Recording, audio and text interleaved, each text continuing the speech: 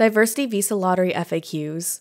As a way to increase the diversity of immigrants arriving in the United States, the Department of State established the Diversity Visa Program. Each year, the program allows 50,000 randomly selected people, chosen from countries that don't send many immigrants to the U.S., to obtain permanent residency or green cards. Here are the answers to some commonly asked questions.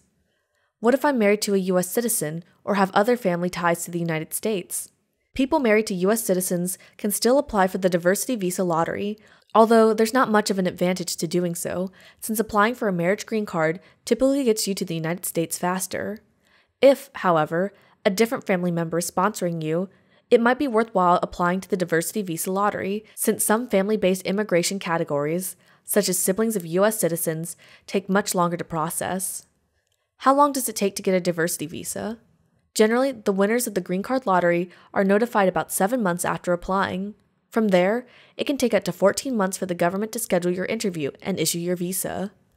Can I enter the diversity visa lottery if I'm in the United States? Yes, you may enter the green card lottery from anywhere, including the US. Can my spouse and I each submit separate entries? Yes, you can submit separate entries. Should one of you be selected, the other spouse will qualify for a green card as your dependent. What if I've lost my confirmation number? Your confirmation number is needed to access the entrant status check or the online portal that states whether you've been selected or not. If you lose your confirmation number, you can retrieve it using the email address you used when registering for the lottery. How much does it cost to enter the Green Card lottery?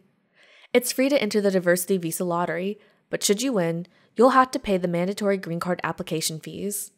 If you have any more questions pertaining to the Diversity Visa lottery, check out our resource guide. It's linked in our description.